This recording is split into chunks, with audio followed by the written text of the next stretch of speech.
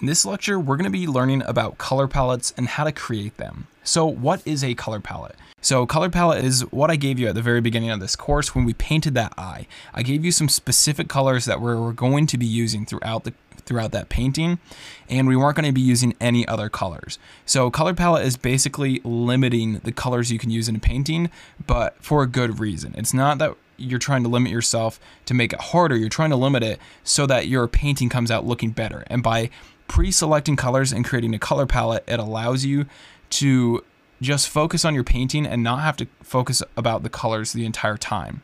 So let's go ahead and let's start learning how to create a color palette. So the first thing we're going to do is make sure that your brush tool is selected. The way you create color palettes is basically by just painting colors, dots of them basically, that you can come back and color pick later. Just like I gave you with the eye painting. So the first thing we want to do is we want to decide what our main color is going to be for our color palette. This is going to be the most saturated color. So in this case, let's go ahead and let's go with a green color. So I'm going to go ahead and select this green right here in my color wheel, and that's going to be my main color. So over here you can see in our color picking tray, um, we can drag this around and we can make it more desaturated or more saturated. It's really up to you. And maybe I'll drag that a little bit more down into the lime green colors. I think something like that will look good. And I like where it's at. It's not too bright and it's not too dark. It's about a third of the way down and a third of the way over, or maybe a quarter of the way over to the desaturated side. Somewhere right about here is good. So let's go ahead and let's paint our first dot of color. So there we go. There's our first color for our palette. Now everything else is going to be based off of this color. We're going to make all of our decisions based off this color. So what we want to do now is let's just start selecting colors around the wheel and then figuring out how saturated or desaturated they should be. Now we don't have to select every color. We can limit our colors if we want or we can give the opportunity to use uh, every color. In this case, let's go ahead and let's do every single color and figure out what saturation level they should be at. If you wanted to, you could just say we're only going to use green, orange, and purple in this painting and then limit it to that. But for us, let's just select every single color along the way. So let's start with, let's. we already kind of have this green color, so let's start with this yellow. So the yellow, we want to desaturate it a little bit more. And the value doesn't matter as much with your color palette because you can always change the value. That doesn't really necessarily mess with your color palette. So let's go ahead and desaturate this yellow just a little bit, but it doesn't have to be super desaturated. And then let's go ahead and we can paint that right next to it like that. Maybe we could saturate it a little bit more, something like that. All right, let's move on to the orange. So the orange is really saturated, so we want to make sure that we desaturate it a little bit. So let's put that almost towards the middle of the saturation. We can go ahead and paint that in like that. Now you can paint these in in big blotches. You can paint them in um, columns and, and stuff like that. It's really up to you how you want to paint in these color blotches that you're going to color pick from later.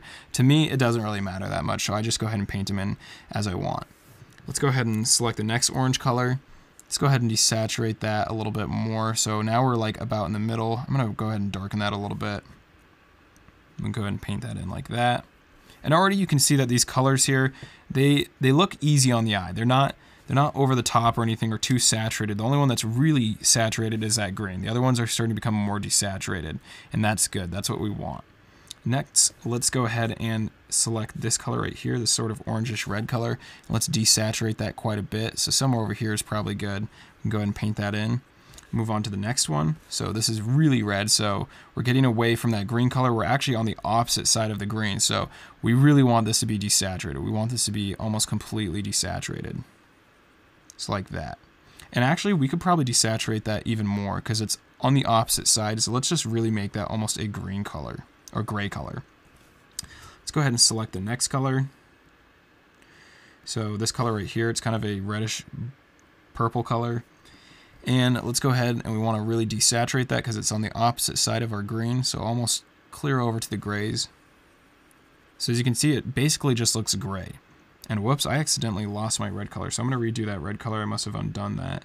So I'll select my red and drag it way over here so it's just barely tinted a little bit of a warmer red color. Paint that back in. Great. Then we'll go ahead and let's select this purple color. So this purple color can get a little bit more saturated because it's not it's a, getting a little bit closer towards those greens. So go ahead and paint that purple in right there. I'll go ahead and select this um, blue color, kind of a violet color. And we can probably put this about in the middle because when we're at these quarter colors right here that are a quarter of the way from our green, we can start getting into this middle saturation area. So we'll go ahead and paint that in. Then let's go ahead and select the next blue color. And we'll go ahead and we can desaturate that. It can be a little bit more passed towards the right side of the saturation spectrum, so maybe right about there. Go ahead and paint this in.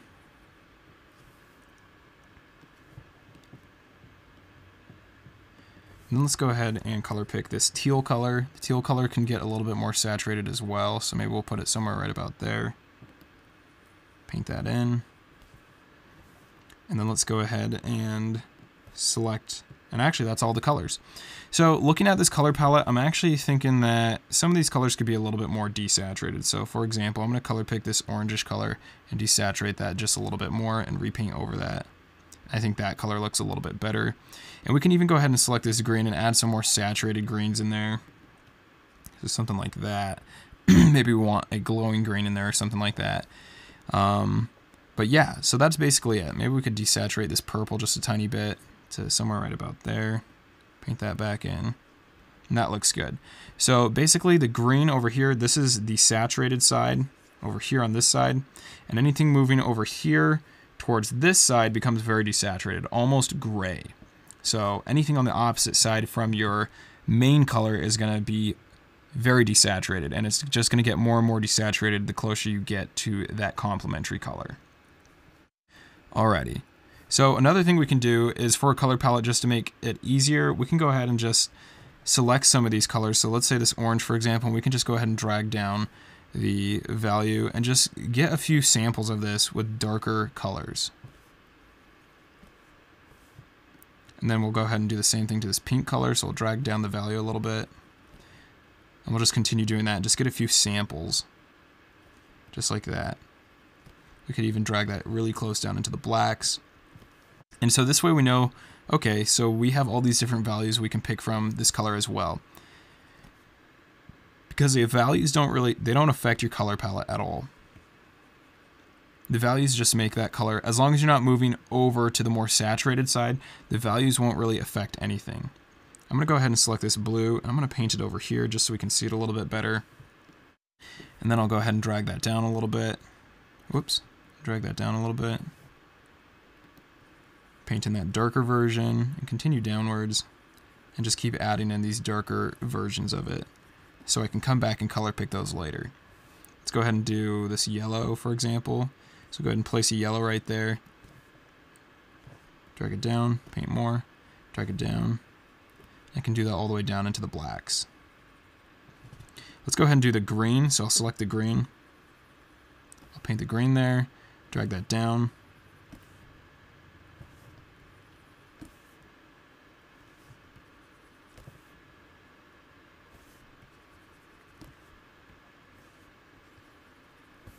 All right, now it's also really important to understand that just because, let's say for example, this green that is our main color, it doesn't mean that it has to be fully saturated in the entire painting. It doesn't even necessarily mean you have to saturate it completely at all.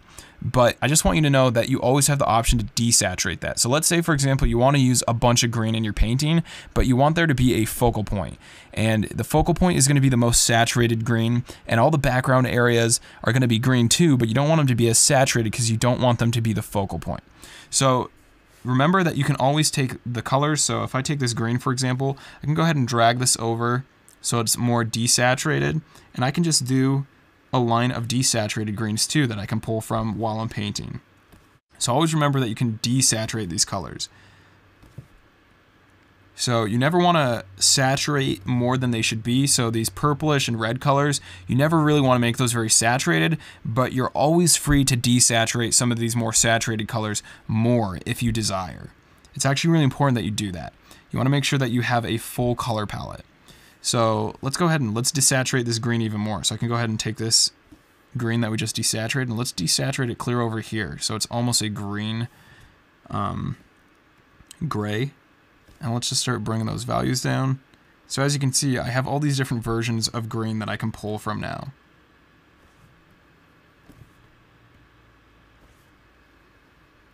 All right, great. So basically, if I stick to all these colors right here, my painting is gonna look pretty good.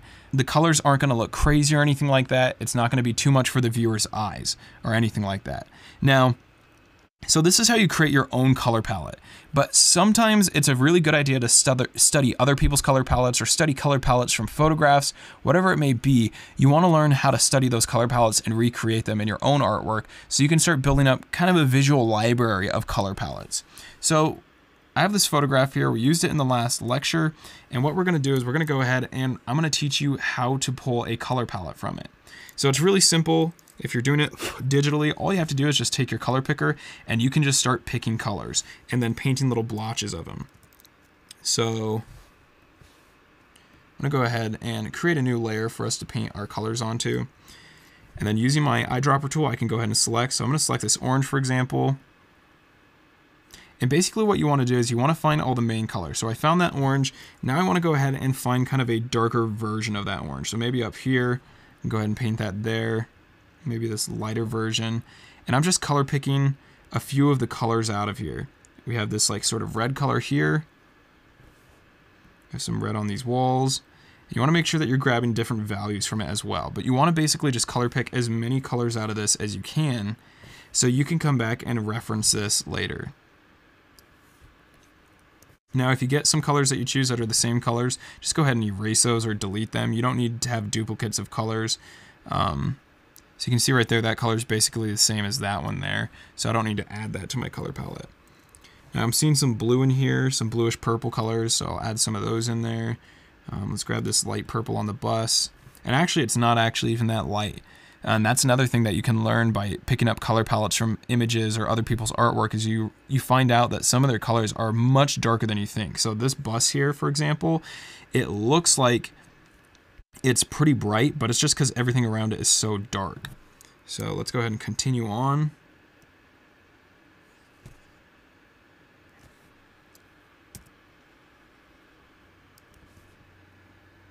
Maybe we can get some of these highlights in here. Get more of a violet color right there.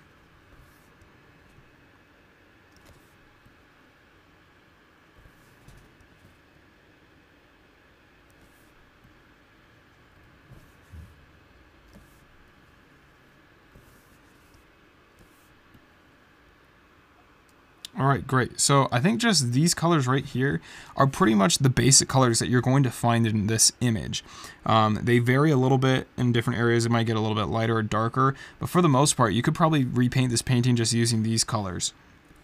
All right, so your assignment for this lecture is I want you to go out and find either another artist's piece of artwork or a photograph, either one, just something that you really like the colors in. And then I want you to go ahead and create a color palette by uploading it into Photoshop, and then color picking it like we just did here and create that color palette. Thanks for watching this lecture, and I'll see you guys in the next one.